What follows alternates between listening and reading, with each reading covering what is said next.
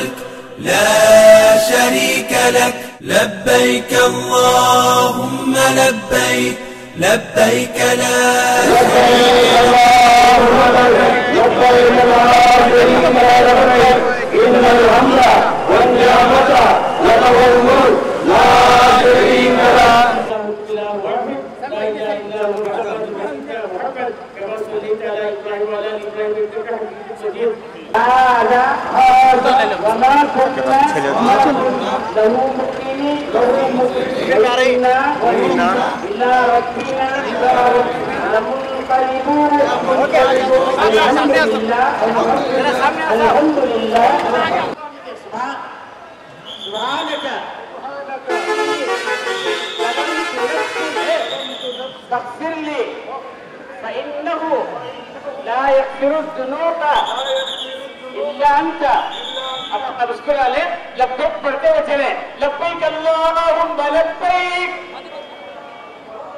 लब्बैक ला शरीक लक